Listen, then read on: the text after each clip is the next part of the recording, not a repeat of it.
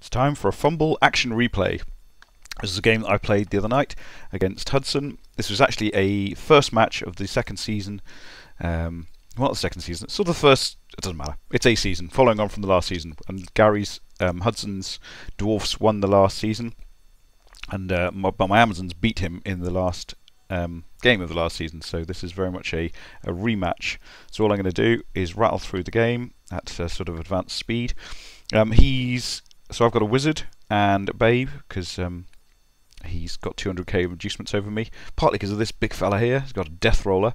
Um, various skills I've got. So I've got guard uh, blitzer there. I've got a guard tackle blitzer, which is obviously slightly useless against dwarfs, um, and a frenzy mighty blow blitzer, and then just a scattering of other skills. Move seven block um, person down there. Um, he's got a few interesting plays. He's got Strength 4 Troll Slayer uh, with Dodge, um, who's a bit of a pain to to you know, deal with if he ends up in the in the wrong place. Uh, get the ref. Now, get the ref was a horrible pain um, because it means that he gets a free bribe, and so um, if he doesn't foul with the death roller, it means that he can have the death roller for another drive afterwards, um, especially as he's got the 12 players there.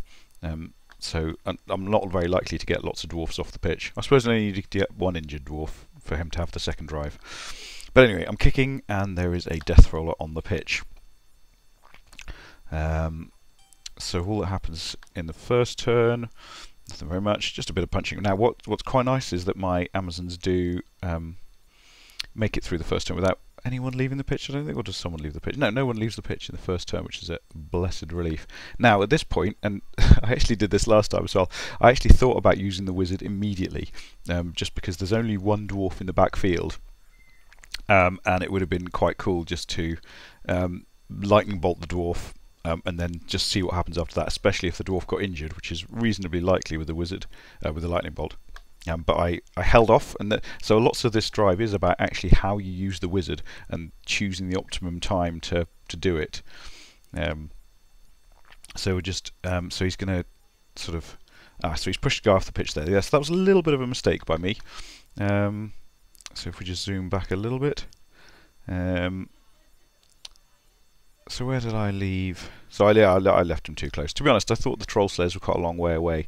I didn't really count. So one, two, three, four, five, six, seven. Yeah, so he was just, even though they were quite far enough, they were quite a long way away, I didn't actually do any counting, which was a mistake. So I left my, uh, I left my lovely Dazzler Blitzer there, um, ready to be surfed. And and you know Hudson likes likes a bit of surfing, so he took the opportunity. Fair play to him. I um, just went into reserves, but not not ideal being off the pitch. So then, um, so then again, I thought about using the wizards. Nice collection of dwarfs over here, um, but sort of still held off again. Um, yeah, and then I'm just sort of trying to put a bit of pressure on the ball carrier. It is it is quite a nice idea to have just put a tackle zone on the ball carrier. It sort of forces the blitz usually.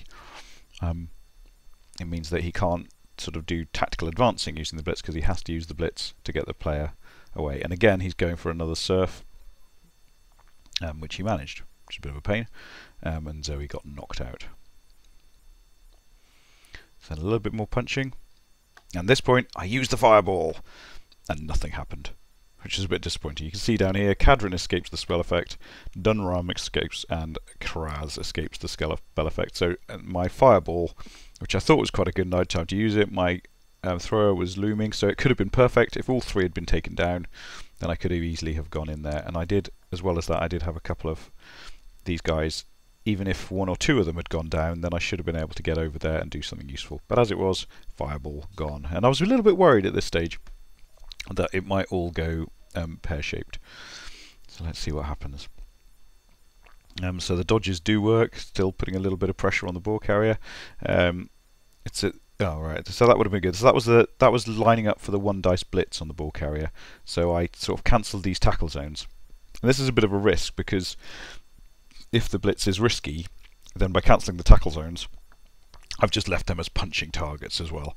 Um, so when that dodge failed there, I'm coming in for the one dice blitz because neither of these guys have got guard. Um, yeah, left me a bit exposed really, and it could all go wrong at this stage. So let's see what happens. So a little bit of punching, but I'm, I, you know, the armor and the and the dodge is, is holding up. Um, so what he's done there is just ran the he's just run the runner forward, but he hasn't. He's not actually going to put him into very much safety. He's just going to rely on sort of dodging, failing, or something. So I've managed to get a tackle zone on the ball carrier. Um, I did need to. See, I was dodging away from a tackle, so I didn't have the reroll for it. But now this one has got the reroll because he's she's only next to a troll slayer who hasn't got dodge. Um, so I'm just going to blitz out there, um, and then um, that runner's actually got dump off, but chose not to use it because there was no obviously no targets there. Um, so I got the got the power on the on the ball carrier, and then just a case of uh, shoring things up a little bit and getting getting as much support as we can back there, um, and hopefully hoping I don't get punched too much. So certain amount of um, sort of dwarf coming back. There was a little sneaky dwarf dodge in there, um, just a three up dodge with the blitzer, which is you know all right, but that could have easily gone wrong, and then I'd have been away. Uh, so. Um,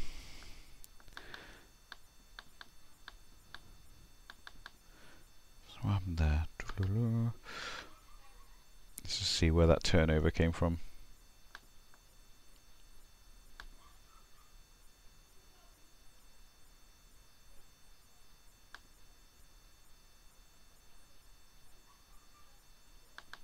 As you just skipped forward quite a long way, I'm not quite sure why.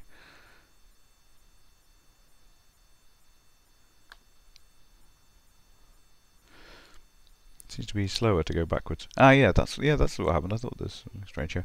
Um, so so I put quite a lot of pressure on. Ah, yes. So the the I think I must have skipped forward, but the death roller jumped in there, and then um, the dwarf dodges out and picks something up there.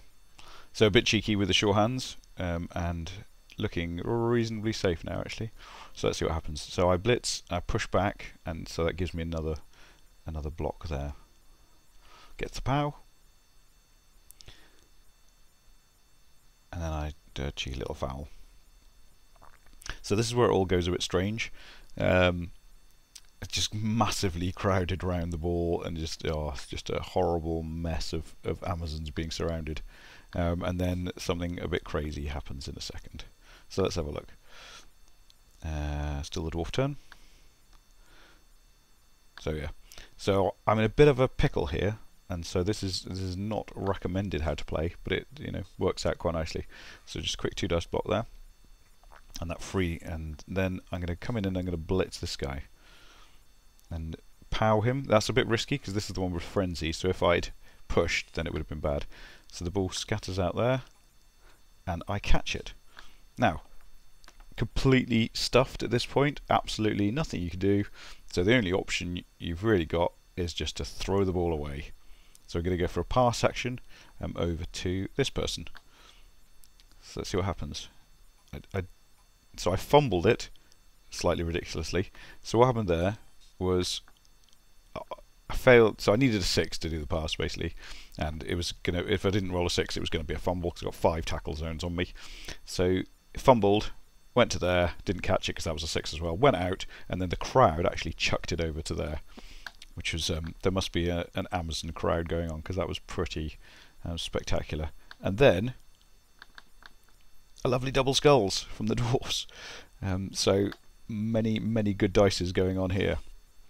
A knockdown there, and then I'm just going to pick up the ball and uh, run away with it in a moment getting a catcher. Now that's an interesting one. So what I did there was I put the catcher within scoring range in case I failed this pickup. Because if I fail the pickup before I put the catcher in scoring range, the next turn there's no chance of scoring. So the catcher was um, necessary. But then I made the pickup and just managed to run off. Um, no rerolls left at this stage. Um, um no rerolls left, and so the, the, people at the top are going to get smashed up, basically. Um, so in a minute I'm going to need to go for it to score. One, two, three, four, five, six. And then need to go for it. But in the meantime, they're just going to clear the pitch and just see what happens. But actually, again, in reserve, quite nice. She's going off as well. And but again in reserve again. So they, so there's really good, quite lucky dice going on here. Now what happened there? which I think there was a bit of an error by uh, Hudson on this stage. He fouled with the death roller and got sent off, which meant he had to, um, well, didn't use the bribe um, because then it would have been pointless because the death roller would have been sent off in a turn anyway. So I, I would have been really tempted not to foul at that stage and then had the death roller for the second drive. Um, so here's the go for it. Two, three, four, five, six. Go for it. Score. Yay. So that's quite cool. So going in, um, 1 0 up because of the crowd basically and some really lucky dice. So let's zoom through a little bit. Um, so this is just a couple of turns of uh, a couple of turns of bashing. I um I squandered a quick snap there slightly in that I, I just forgot to move a load of players forward, which gave me a whole load of blocks. So if we just rewind just a wee bit, um, because when when he set up, he actually had these three dwarfs, one, two, three, one square back, and I could have got blocks on all of those.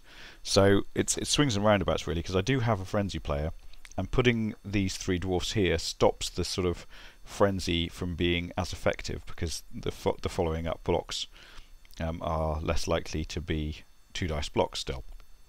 And they may even be half dice blocks. Um, but when I got the quick snap, I should have moved this player forward, this player forward, this player forward, this player forward, and probably this player forward as well. Just charged the line, and then I could have taken out, in theory, six dwarfs would have been on the floor, and that would have put me in a very um, commanding position. But I forgot to do that for some reason. I was too excited about winning, basically. Um, that happens sometimes. But that's the psychological side of Blood Bowl. Um, so yeah, there's the frenzy. Got the ball. Just going to make it safe.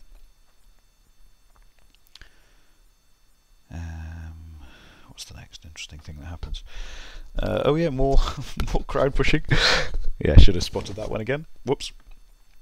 Um, but now I've got a dwarf off the pitch, which is fantastic. So what's happened here is that he's got a load of players over this side now. He's got one, two, three, four, five dwarves in the in the in the wide zone, um, and dwarfs are slow. And so I'm going to make the most of the fact that he's got five dwarfs in the top, which he did in order to do, to get this sort of crowd push. So he got player off the pitch, but it does mean that the the switch is fairly straightforward. Um, so I am leaving this corner of this cage open. In theory, there, there's there's a certain amount of openness here. Actually, it's not not a very solid cage.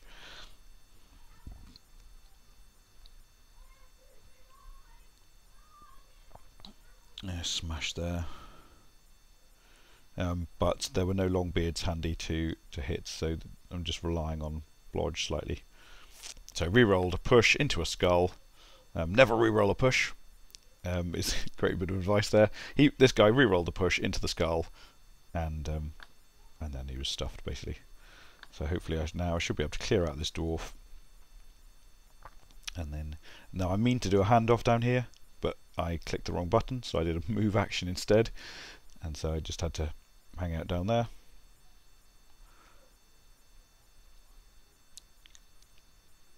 Um, so the runner can, in theory, get to this um, Susanna down here.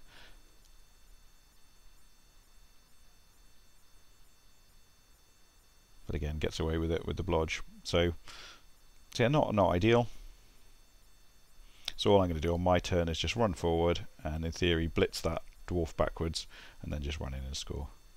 So it's like um, basically a 3 up with a reroll and make the score there. Okay, so that made it 2 0. And then the blitz happened. Hurrah! Um, and so at this stage, dwarfs are 2 0 down at turn 12 or so. There's no way back really, and then the blitz just made it everything a bit worse. So if we just zoom through the rest.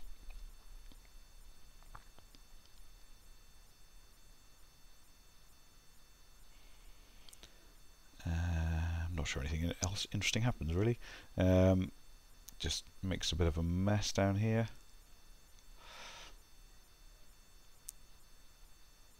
Got the ball. I think a lucky pow comes up now. So there's a dodge and then a double pow. Ball scatters over here. Again, the crowd being lovely towards me. Free up this um, thrower, ready to pick up the ball and run away with it.